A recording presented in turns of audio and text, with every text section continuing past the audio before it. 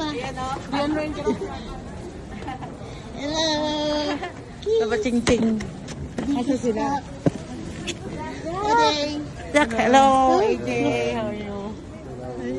Jack, Dede, kiss mo na Hi guys, Kuya Lea po.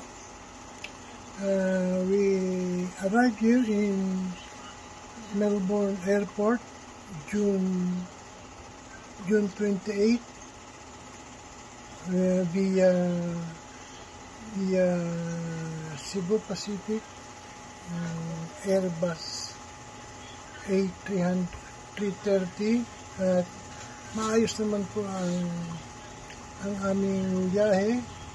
May food kami sa sa aeroplano dahil inorderan po kami ng aming anak.